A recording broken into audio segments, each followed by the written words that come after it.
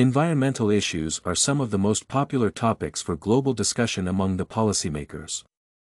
Different countries face different environmental problems, nevertheless, many believe that a global approach is needed for a balanced solution.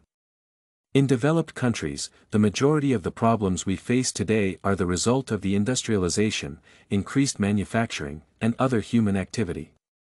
Most of the countries of the world cooperate in order to improve the state of the environment and prevent further damage.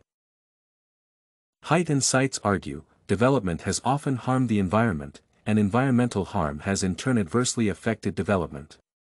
For instance, industrialization led to the introduction of large-scale manufacturing, thus increasing the chemical pollution of water and air.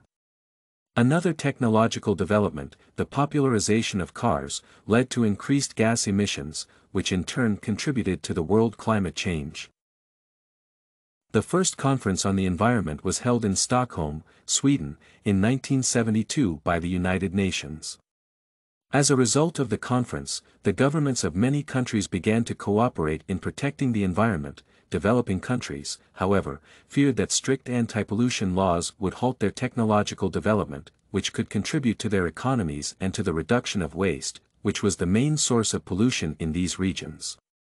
The conference was held by the United States, one of the outcomes of the conference was the global awareness of the impact of human activity on the environment and the need for collective action.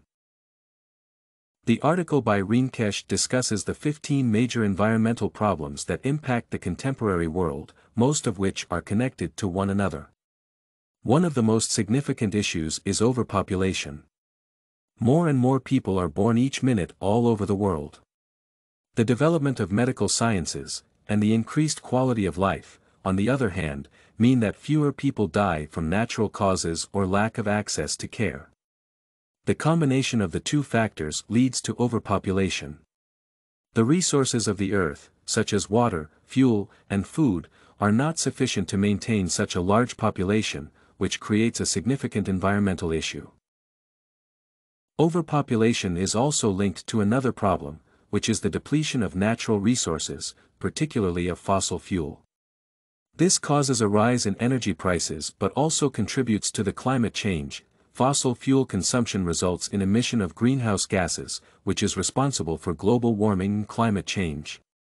Climate change, in turn, results in a rise in temperature, which causes the melting of polar ice, increase in infectious diseases, and severe weather conditions, such as floods. Another result of the climate change is the loss of biodiversity. It can also occur due to human activity and leads to the deterioration of ecosystems and the disruption of natural balance, which may have severe consequences on the future life on Earth. Finally, another environmental problem that was brought about by humans is deforestation.